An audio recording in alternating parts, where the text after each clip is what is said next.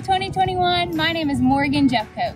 Can you believe that graduation is just around the corner? We survived a crazy semester and we've almost made it to the end of our CSU career.